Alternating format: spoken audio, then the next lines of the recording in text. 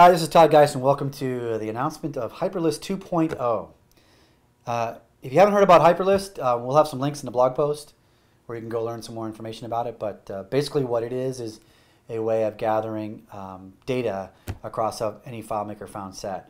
It was originally developed to do just a single field, the primary key, which is very, very useful for um, things like virtual list and pickers and other common UI patterns uh, in the FileMaker world. Um, so FileMaker 13 added a list of summary field, which lets you gather found sets across an ID, uh, let, lets you gather the, uh, the ID across a found set. Um, we wanted to uh, use that when inside a hyperlist and also added a couple, one more key feature. So this is what it does. So Hyperlist 2.0 adds two new features. One, it supports up to five fields, so you can now, instead of just gathering up the primary key, you can gather the data from up to five fields. And that's very useful in virtual list techniques and pickers, which I'll show in a, in a later video. Um, and that feature is really thanks to Jason Young at Seedcode.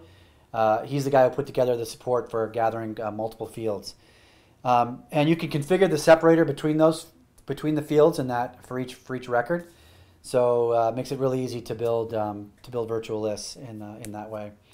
The other thing it does it, it detects the list of summary fields. So if you uh, give Hyperlist the um, a summary field, list of summary field, uh, and in, instead of just a regular field, it will automatically uh, figure that out, and it will just say, all right, forget it. I don't need to do my hyperlist thing. I can just get, I can just grab the value of this field. And the reason why that's cool is it gives you one single way of dealing with uh, gathering a single field, and um, and and and Hyperlist does it dynamically, which is kind of nice. So you can feed you feed Hyperlist the name of a field, yeah, uh, um, and it detects whether or not it can take the shortcut use list of, or it needs to go through its its um, its older method of generating that that that large list of data. So one method um, works for both both scenarios. Uh, so that's it. So let's take a look at the demo. Okay, so I've opened up the, the Hyperlist 2.0 file, and we're just going to look at the at the graph here, so we can see uh, what these different results are and how and how quickly they work. And then we'll look a little bit at, at the code. But what you can see is um, this is looking at uh, the standard old way of gathering lists by looping through records. And you can see that follows an exponential curve, and we've talked about this before, and eventually goes, it goes um, vertical. And somewhere beyond 20,000 records, you'll never be able to resolve that set. That's really old news, but I left it on the graph just to show the difference here. Um, at the bottom, very, the fastest one down here is Hyperlist using the list of technique.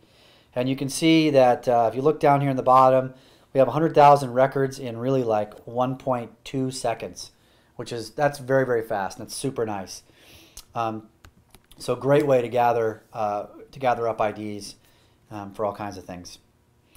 Um, and so then we have Hyperlist version 2.0. So this is just a single field, and you can see it's pretty fast, but not as fast as list of. It takes about four and a half seconds to do 100,000 records. So the advantage to Hyperlist over list of in this particular case is we don't we don't have to create a field. We don't have to create a summary field. Uh, we've already got the primary uh, ID in a, in a table, and we can just point Hyperlist at it, and it can gather that record without having gather that same data without having to add that second field to the database. So um, one thing I didn't mention in, this, in, the, in the slides, another great reason to have this technique is um, for doing perform script on server. We'll take a look at that in a later video. But you may want to gather up your found set of IDs, pass that list to the server, and do some kind of operation on it, uh, and then and then get the result back later, or, or or not. Just let the server handle it. So gathering a found set of IDs is really important. Um, we now have list of, as we see here, is very very fast. But we also still have Hyperlist uh, version two, where we just need to give it the name of the field, and we don't need to create that extra field in the database. So that that works great. Now, um, the other two that I'm showing here on the graph are Hyperlist version 2, gathering three fields and five fields, and it's still pretty quick. And these are really great for pickers, and as I said, we're going to show that in a, in a later video. But um, if you want to grab everything you need for a picker, right, and just get it all in one shot, this is a great way of doing it, and it's really, really configurable. So let's quickly take a look at how this gets configured, um, how you want to, how you can use it.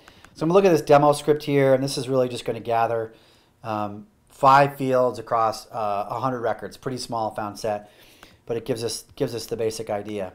So if we look at, we're going to call the script and we're passing in the field names, the five fields that we need to gather as a list. And that's all we have to do. We do that and Hyperlist take care, takes care of the rest of it. So I'm just going to run that script and we'll look at the data that's, that's saved from it. And if I pull in the data viewer here, we can see that there. So that so there that that's 100 records with the primary key first on the left and then five other fields all separated by the bar here, the vertical pipe. Now that separator is configurable, so if you want to use a tab, you can use a tab. Um, there's various different ways, different characters that you might want to use depending on your on your scenario. So uh, that's it. That's a look at Hyperlist uh, version 2.0, and it's available on the modular web, the modularfilemaker.org website. And you can go uh, check it out there, and we'll have links for that in the blog. Uh, thanks very much. Bye bye.